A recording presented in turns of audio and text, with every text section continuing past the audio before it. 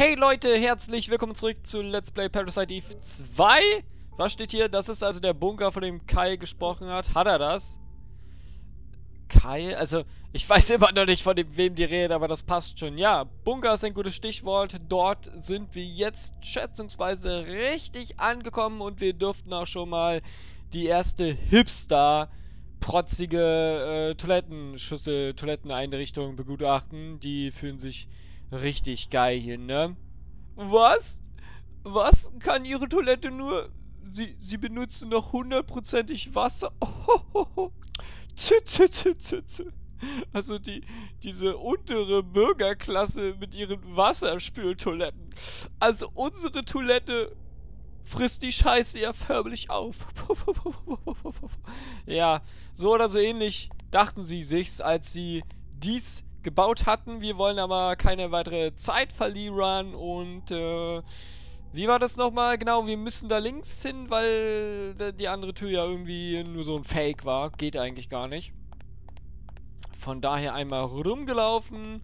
Aber ist es jetzt die... Ja, oder? Mir kommt irgendwie so, als würde ich hier wieder Scheiße bauen, aber... Nee, komm, kann, kann, er nicht immer, kann er nicht immer am laufenden Band Scheiße bauen. Ab und zu mache ich vielleicht doch mal was richtig. Also, das ist die Tür. Die führt uns, äh, wohin? Zum Kloppy McClop-Plop. Stimmt, die Gegner hatten wir ja ganz am Anfang. Was ist das da? Ich glaube, der spielt gerade irgendwas an dem Rechner oder so. Was habe ich denn gerade equipiert? Die normale Piste, ne? Das wollen wir natürlich nicht. Wir wollen die schicke, schicke Granate-Pistole oder Bombe. Machen wir eine Bombe. Habe ich gerade...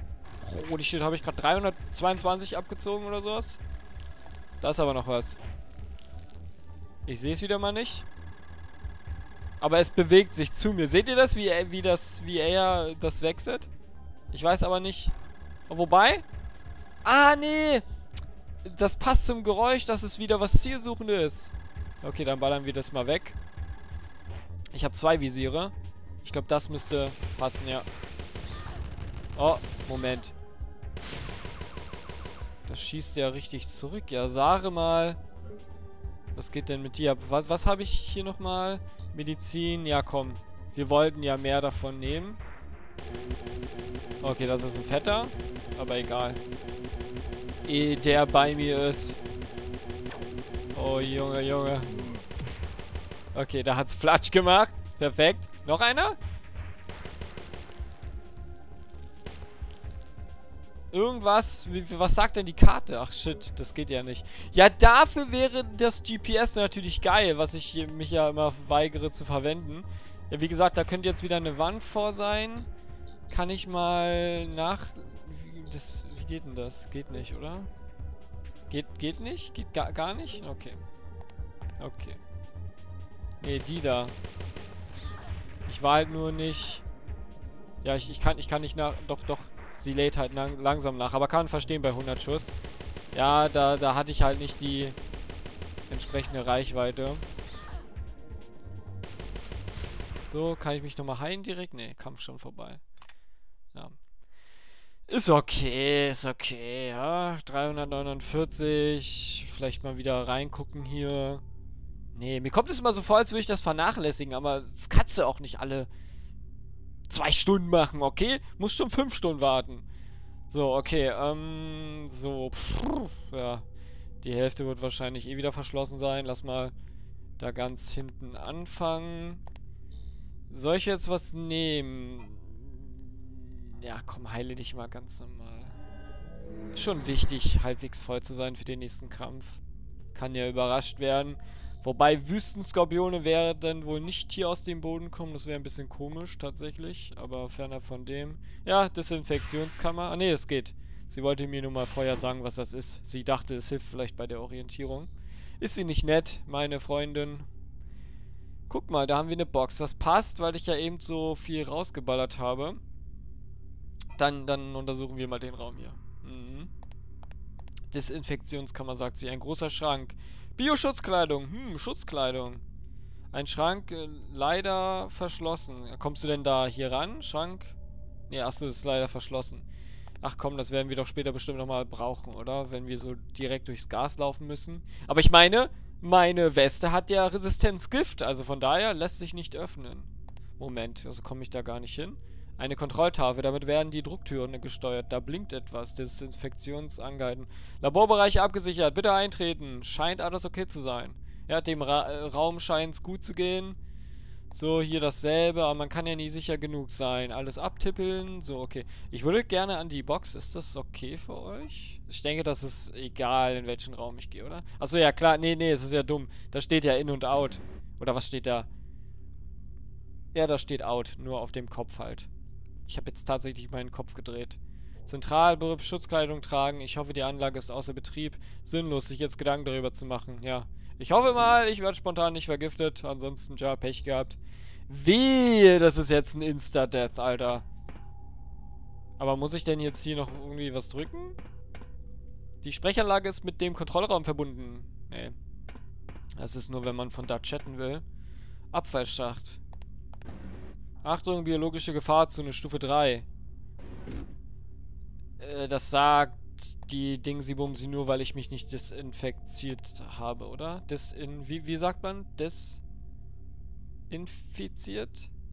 Ihr wisst schon, ich habe nichts an mir, Corona oder so, was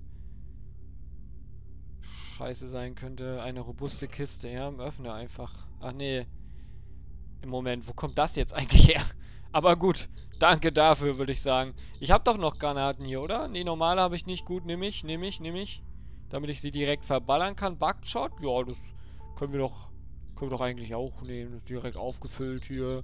Kannst du bitte, bitte sortieren? Ja, das geht von hier aus wieder nicht. Ja, ähm, das ist doch rein theoretisch praktisch, aber das brauche ich gerade nicht.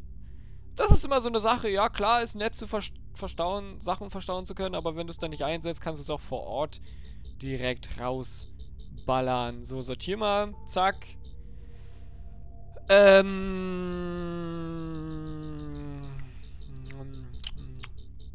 Hat meine Waffe denn hier noch was? Ah, einfach Granaten nehmen. Ich glaube, ja, ich glaube, das war das, was ich vorher schon drin hatte. So, okay, gut. Dann direkt mal sprechen. Tele ein Telefon, ob es extern verbunden ist, mit MITF merkt, die MRTF merkt, wenn Anrufe abgehört werden. Ich rufe an. Was? Ach so, ja klar. Aha, Sie haben den Bunker gefunden. Hinter einem Stollen? Sie haben recht, er sieht verdächtig aus. Untersuchen Sie den Ort. Ja, ne? Also, wäre ja auch blöd, wenn ich jetzt sagen würde, uh, guck mal, meine neun Stunden sind vorbei. Äh, länger muss ich ja heute nicht arbeiten. So, okay. Wir könnten direkt weitergehen, aber... Ja, ich weiß es nicht. Das wäre halt näher dran, ne? Ja, komm, lass mal machen. Lass mal machen. Lass mal machen. Gucke, was da gibt. Ob da gebe neue Bosse da. Da gebe neue Zwischensequenzen. Oh, was denn jetzt? War es jetzt etwa ein Fehler? Guck mal, das bin ich, als ich andere Klamotten anhatte. Ich weiß, passiert sehr, sehr selten, deswegen habe ich es mir gemerkt. Sei brav und mach auf. Drinnen ist es gefährlich. Aber die Frage ist, was ist jetzt drin und was draußen? Sie ist hier drin. Okay, sie hat die Tür verschweißt. Ganz allein.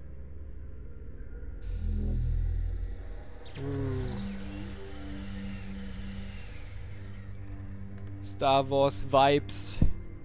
Aber wahrscheinlich gibt es sowas wirklich, womit man die Türen aufschweißen kann, oder? Ich meine, wenn man sie einschweißen kann, wenn die Türen schwitzen. Und das da ist eine Riesenmitochondrie oder sowas. So ähnlich sah es ja bei Eve, glaube ich, auch aus. Oh! Guck mal, die detaillierten Gesichtsanimationen, Alter. Oh nein! Stealth. Schon wieder. Dieses Kind.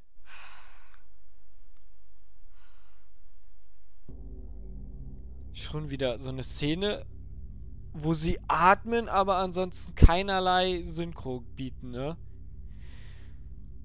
Da habe ich doch spontan die Story-Tür erwischt. Ja, ich hab's, ich hab's nicht gesagt, ne? Ich hab's nur gedacht. Ja, deswegen ist der Shit auch da, weil potenziell gleich ein Bosskampf passieren könnte. Aber man weiß ja auch nie so wirklich es könnte ja Genau wie diese Brandsprung, genau wie im Traum. Das ist wohl kein Zufall. Alter, wenn sie mich jetzt wieder eingesperrt hätte, ne? Nee, nee, nee. Ja, dann gehe ich halt erstmal den anderen Weg.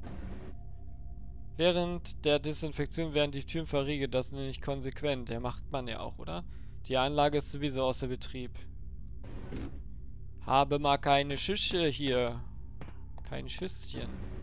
Achtung, verseuchtes Material in diesem Raum entsorgen. Ja, ja. Also, man hat mich auch schon mal netter beleidigt, aber hey. Ist okay, ich verzeih euch. So, dann ja, hier nachgucken, oder? Ist das eine dieser Tiefgarage abge... Ja, seht, seht ihr? Seht ihr das? Oh, Mann. Immersion, Immersion, warum nimmt ihr mir sie ständig weg? Ständig weg? Ah, nee, danke. Gut. Es könnten auch einfach Räume mit Inhalten sein, so Gegner und Gegenstände. So, was haben wir da? Okay, da werden wieder... Ach, das sind Flubble-Bobbles. Kannst du den anderen Flubble-Bobble auch? Nee, sieht schlecht aus. Oh, der greift schon direkt an. Oder? Nee, doch nicht. Dachte. So, okay, dann habe ich noch die beiden. Oh, ich bin paralysiert oder sowas. Ja, paralysiert. Verstehe den Effekt nicht hundertprozentig. Sie hat mitten beim Schießen einfach aufgehört. Ja, sie hat halt dann nicht viel Kraft, ne? Okay, ja, das passt aber, das passt. So, was sagt die Karte? Die Karte sagt einfach neuer Raum. Verstehe ich nicht, dass sie den anderen Flobble-Bobble nicht penetriert hat, warum ich das machen musste. So.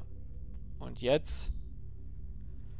Kontrollraum. Mhm, mhm, mhm, Mal gucken, was er hergibt. Gib mir dein Pausengeld. Oh nein! Ja, ich hab's direkt gesehen. Flobble-Bobbits. Stirb! Woo! Ah, das ist schön. Ist immer sehr befriedigend, aber... Oh nein. Uh, fuck. Okay. Aber die greifen nur an, wenn sie sich bedroht fühlen, ne? Irgendwie. Oh nein.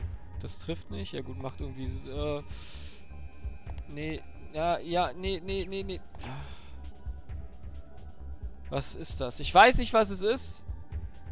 Also warte ich, bis es weg ist. Stummzauber ist es nicht. Verwirrt. Paralyse sah vorhin anders aus, oder? Ich, ich weiß es nicht. Okay, jetzt ist es weg. Ähm. Genau. Wow. Was? Warum schießt sie auf einmal? Komisch. Braucht ihr so lange zum Nachladen?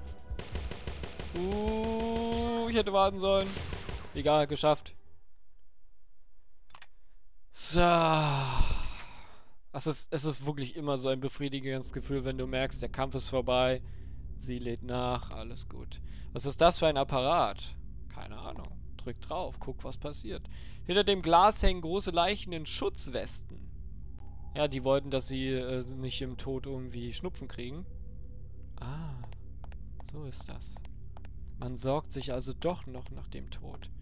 Ich dachte, die schänden einfach meine Gräber. Naja gut, die sind ja auch nicht wirklich in Gräbern. Ach, da geht's ja dann auch dementsprechend gar nicht weiter, ne? Puh. Zumindest momentan. Na gut, dann war es das mit diesem Raum. Ja, ist halt ein, Bunker. Also da, da gibt es ja auch nicht viele Regale oder so. Also nicht viel, was man verpassen könnte. Eine fette Tür, noch dazu verriegelt. Verriegelt, ja.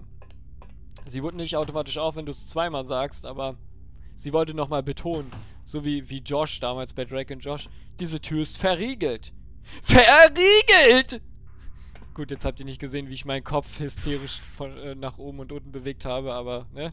Wer es kennt, der kennt's. Und alle anderen, tja, die, die kennen's nicht, man glaubt's kaum. ihr dachtet jetzt auch, da steckt ein Witz dahinter, ne? Nee, nee, nee.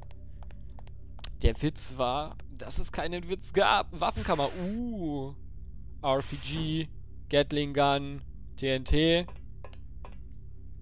Oder Spielzeug, Cornflakes-Packung, was ist das? Zwei zum Preis von einem.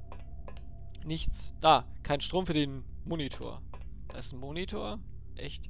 Im Bücherregal sind nur Waffenkataloge. Keine Zeit für sowas. Ja, sie kennen sich schon aus, alles schon durchgelesen. So sieht ihr Sonntagnachmittag aus. Schön am Kamin. Oh, diese Waffe, die hat ja drei äh, Zusatzteile und so. Das Gerät sieht aus wie unser MITF-Automat. Bei uns können wir mit BPs Waffen kaufen. Ah, welcome to BP Armory.